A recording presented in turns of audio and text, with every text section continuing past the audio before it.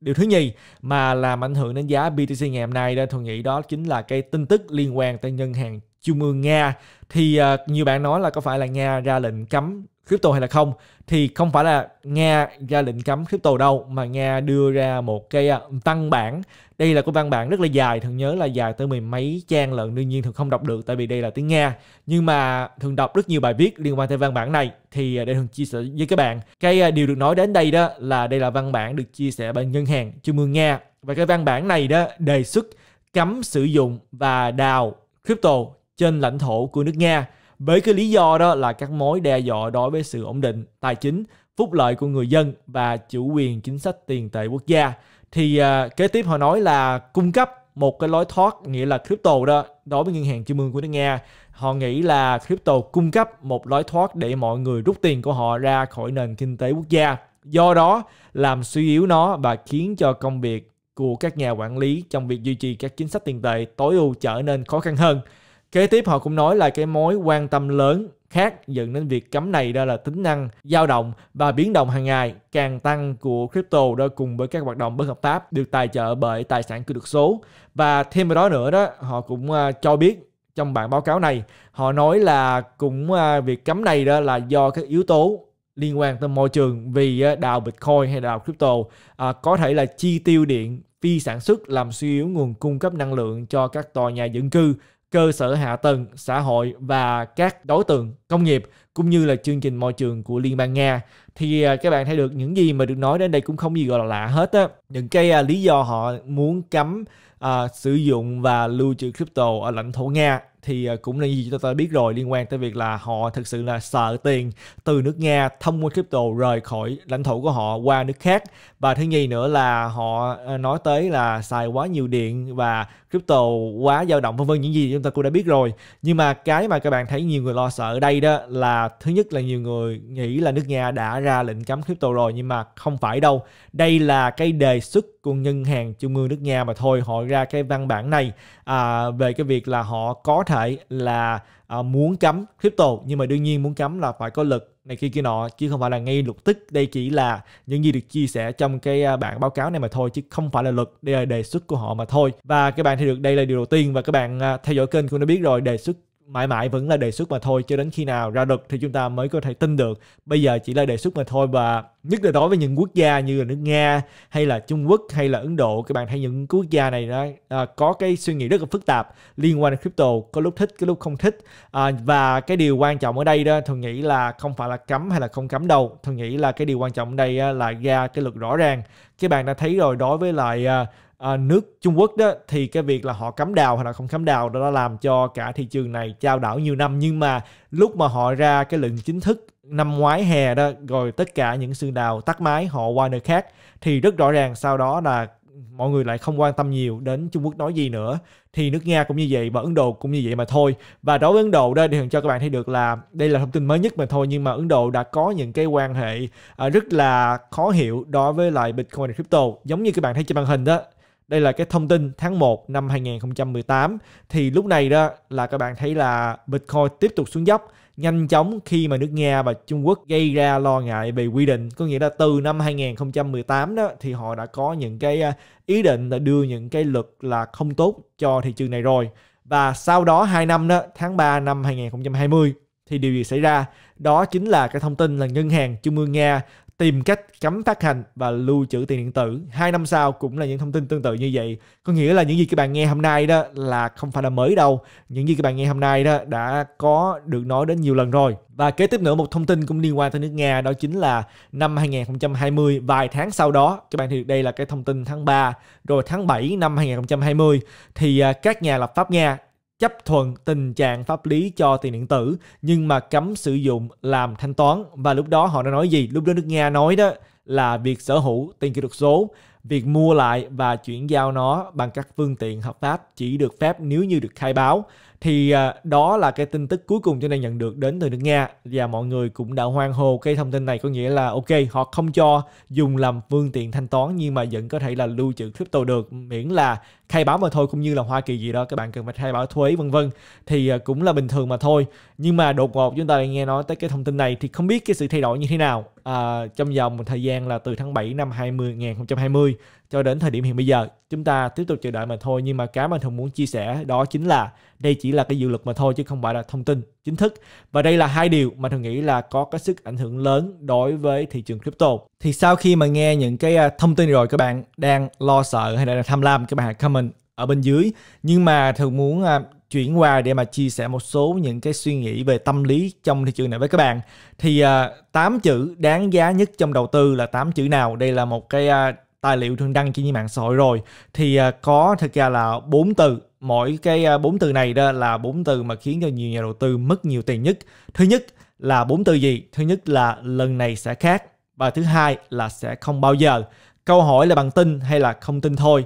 À, Thông sẽ chia sẻ thêm trong video ngày hôm nay nghĩa là bây giờ đây là cái uh, thuyết thường đã đăng cái tệ bài tiếng đồng hồ. Thì cái mà thường muốn chia sẻ với các bạn đó là thật ra các bạn có thể là một người mà am hiểu rất nhiều về kinh tế vĩ mô các bạn có thể hiểu rất nhiều về uh, phân tích kỹ thuật các bạn có thể hiểu rất nhiều về công nghệ các bạn có thể là giỏi gì những mặt đó nhưng mà cuối cùng đó thường thấy là trong thị trường tài chính nói chung luôn bất cứ các bạn đầu tư gì cái mảng nào cái mà có thể cho các bạn thành công đó chính là lòng tin. Nếu các bạn không có lòng tin thì các bạn sẽ không thành công đâu. Và tới đây đó thì có thể các bạn bây giờ đang lo lắng và thường cũng tại sao các bạn lo lắng? Tại vì có thể nhiều bạn à, mua ở những mức cao hơn nhưng mà thường muốn chia sẻ một cái video cách đây à, cũng đã là để coi coi cuối năm 2018 rồi nghĩa là cách đây là gần như là 3 năm.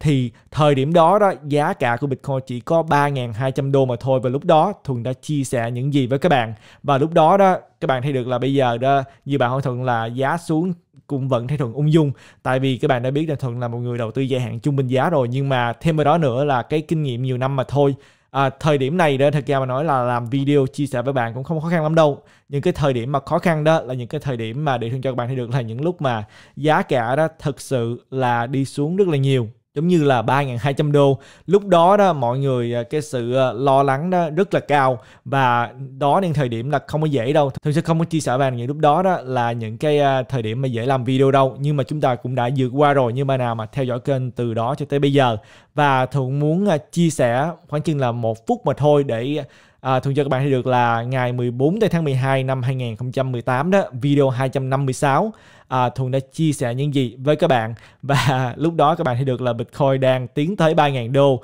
Và các bạn hỏi thường là mùa đông năm đó có phải như là bây giờ hay không? Không phải đâu. Lúc mà mùa đông đến thì các bạn thấy được là chúng ta thấy những hiện tượng như là những cái ICO những công ty đó họ sa thải người. Đi thường chia sẻ một vài phút trong video với các bạn. Sau đó chúng ta sẽ nói tiếp. Thuần thì cũng như các bạn, chúng ta đã từ 20.000 đô mà xuống đến cái mức là 3.200 thì tôi nghĩ là cái mức hiện tại tới cái đáy cũng không còn bao nhiêu xa. Nhưng mà chúng ta chưa biết được là cái con số đó là con số nào. Tại vì khi mà xuống tới một mức nào đó thì lúc đó mọi người lại nghĩ là giá đó là quá rẻ cho nên tất cả mọi người đều sẽ dùng tiền vào. Nhưng mà chúng ta vẫn chưa biết được cái mức đó là cái mức nào. Thực ra thì ngoại trừ hoảng loạn thì thường nghĩ là cũng không có nhiều người muốn bán ở cái mức này nhất là những người nào mà đã giữ đồng Bitcoin từ 15 ngàn, 10 ngàn hay là thậm chí là 6 7 ngàn bây giờ chỉ còn có 3 ngàn 2 thì nếu như mà đã không bán cái lúc đó thì tại sao lại bán ở cái mức này Tôi vẫn nghĩ là thị trường hiện bây giờ là vẫn còn một đợt cuối cùng để mà đẩy những người đó ra khỏi thị trường này. Thì cũng như các bạn, thường hy vọng là chúng ta sẽ có được cái ngày đó sớm hơn. Đến cái mức này thì cái đấy là bao nhiêu cũng không quan trọng lắm. thường nghĩ là chúng ta cần phải có được cái sự nhanh chóng tới cái, cái mức đó để có được cái sự hồi phục kế tiếp. Thì uh, sau khi mà thường chia sẻ video đó đó, thật ra đó đã là đáy của cái uh, đợt mà đi xuống năm 2018 và từ đó các bạn thấy đã đi lên, đã đi lên về lên mãi cho đến chúng ta lập đỉnh tháng 11 mới đây là 69.000 đô. Cho nên cái mà thường chia sẻ với các bạn đó là thật ra cuối cùng đó, câu hỏi vẫn là các bạn có tin vào thị trường này hay là không tin vào thị trường này mà thôi. À, và nếu như các bạn à, không tin á, thì thường cũng không có gì để mà nói thêm. Nhưng mà nếu như các bạn tin á, thì à, các bạn đã thấy thị trường này đã có cái à, sự tiềm năng như thế nào rồi. Nhưng mà nói tới đây thì thường muốn trở lại để mà chia sẻ với các bạn hai cái mà thường mới vừa chia sẻ. Thứ nhất là lần này sẽ khác tại sao thường này nói là lần sẽ khác? Tại vì các bạn thấy được là những bạn nào mà nghĩ là chúng ta sẽ kết thúc cái mùa tăng trưởng rồi và chúng ta bây giờ đang trên con đường đi xuống đó thì các bạn đang nghĩ là lần này sẽ khác. Tại vì sao thường nói như vậy? Tại vì đó các bạn đã thấy rồi à, những bạn nào mà theo dõi à, à, Thuận Capital cách đây vài tháng trước khi mà kết thúc năm 2021 đó Thuận đã chia sẻ với các bạn là có hai suy nghĩ. Thứ nhất nếu như mà chúng ta thực sự là tăng trưởng cực mạnh, giống như là nhân hai lần cho giá của BTC lên tới mức là 100.000 đô cuối năm 2021 đó. Thì đó là cái đợt kết thúc của cái mùa này tại vì ra cũng tương tự như những cái đợt tăng trưởng trước đây nó sẽ không có khác đâu. À, và thứ nhì nếu như chúng ta không thấy điều đó xảy ra và cuối cùng điều đó không xảy ra các bạn thấy được giá cả cứ đi lên nhưng mà đi lên từ từ rồi đi hàng ngang đi xuống một chút rồi đi lên rồi đi hàng ngang đi xuống một chút cho đến bây giờ là chúng ta mức là khoảng chừng 38 39 ngàn thì chúng ta sẽ thấy một cái chu kỳ dài hơn. Và trong lịch sử đó những điều này cũng đã từng xảy ra rồi. Các bạn thấy là những cái đợt tăng trưởng trước đây đó đợt nào cũng như vậy. Các bạn thấy là đợt tăng trưởng năm 2011 đó là lúc đó các bạn thấy là tổng cộng là 369 ngày. Đợt thứ nhì đó là 525 ngày và đợt thứ uh, ba đó là 746 ngày. Trước khi mà chúng ta uh, thấy cái uh, giá mới sau ngày halving thì à, các bạn đã thấy rồi, mỗi cái mùa tăng trưởng đó đều có cái à, ngày dài hơn và dài hơn và dài hơn. Và đó đã là lịch sử của BTC rồi, cho nên nếu như các bạn nghĩ là giá của BTC đó sẽ kết thúc ở cái à, thời điểm này và cho thời giờ mùa đông đó, thì đương nhiên không ai biết được tương lai nhưng mà cái mà Thuận nói đây ra cái mà các bạn đang nói đến đó chính là lần này sẽ khác. Lần này sẽ không khác đâu đối với thường chúng ta sẽ tiếp tục thấy đi theo xu hướng trước đây sẽ là một chu kỳ dài hơn. Và các bạn thấy là một trong những người mà rất là à, nổi tiếng với cái lý thuyết này đó chính là Benjamin Cohen các bạn đã thấy rồi nhìn vào những cái hình vẽ trên màn hình đó cái chu kỳ thứ nhất chu kỳ thứ nhì chu kỳ thứ ba và chúng ta đặt cái chu kỳ cuối cùng là màu tím này đó, là cái chu kỳ hiện bây giờ, là vẫn là một chu kỳ dài hơn, đó là lịch sử. Lần này sẽ không khác, chúng ta sẽ làm một chu kỳ dài hơn.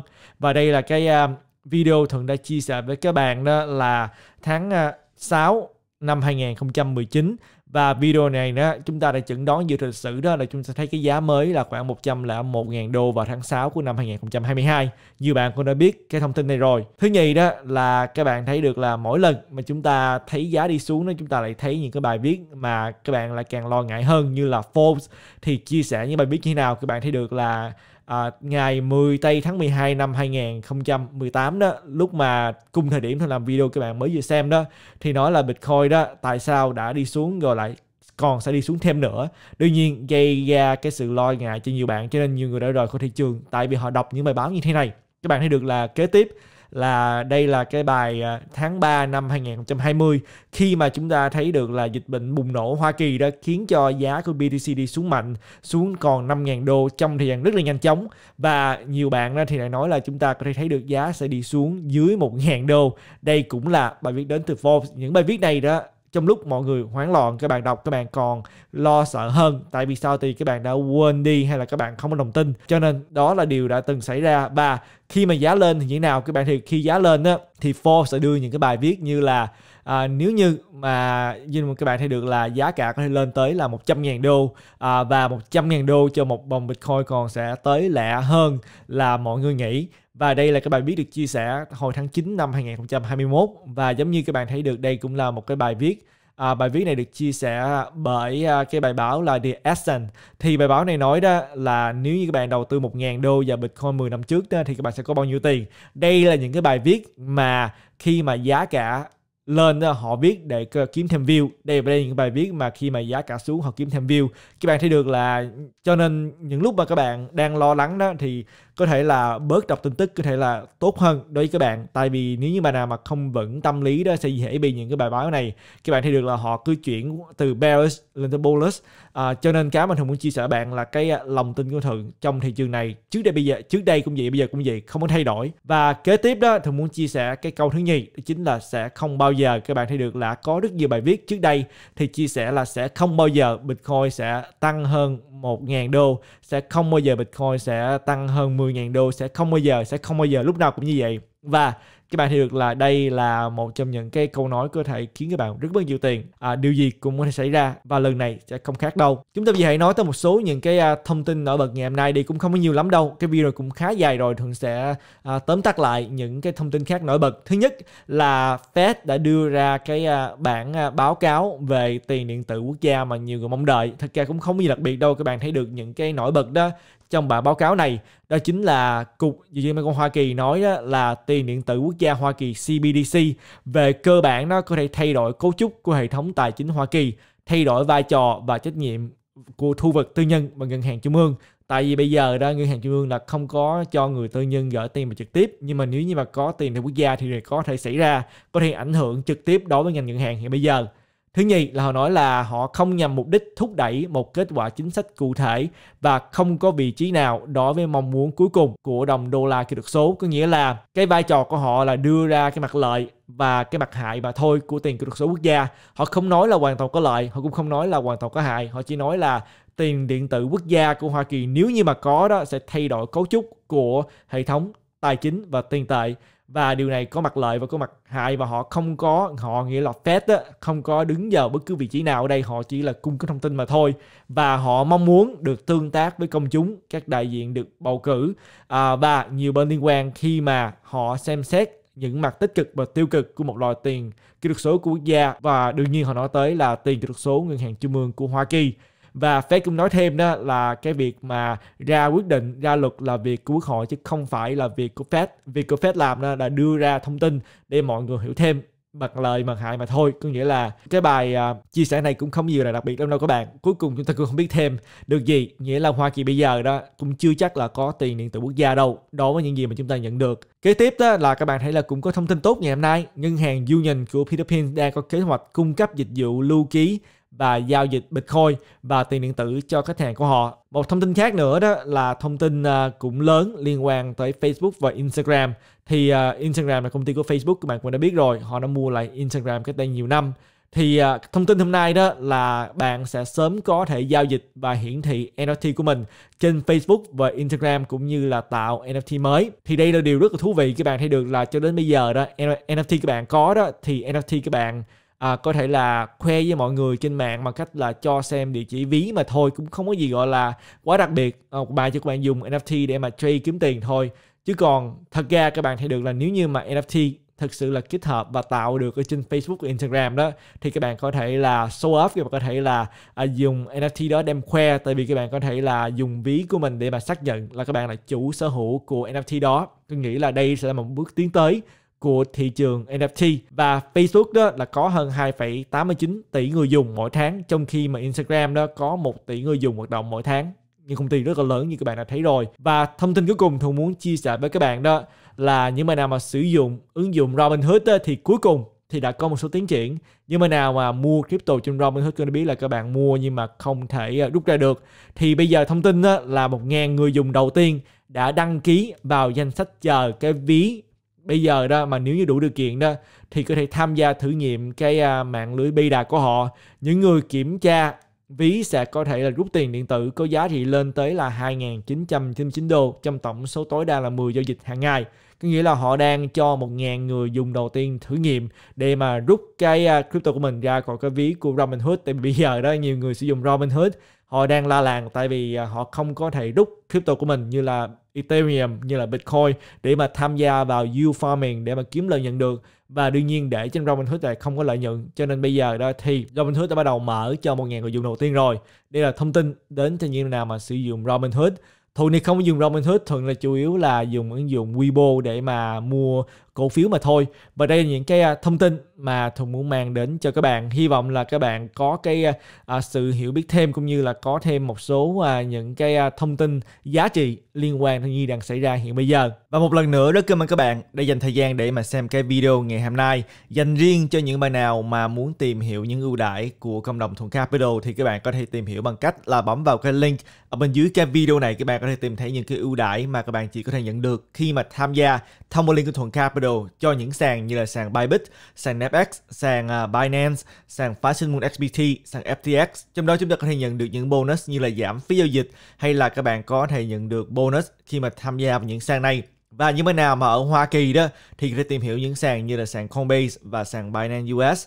Nhưng mà nào mà thích gửi tiền kỹ thuật số để mà lấy lãi hàng tháng thì có thể tìm hiểu những ứng dụng như là Nexo hay là BlockFi. Và đương nhiên, Crypto ứng dụng phân tích hỗ trợ biểu đồ và dữ liệu on-chain mà chúng ta thường hay sử dụng. Tất cả những thông tin chi tiết các bạn có thể tìm thấy bên dưới cái phần mô tả của video này. Và Thuận sẽ hẹn gặp lại các bạn trong cái video kế tiếp. Tạm biệt các bạn.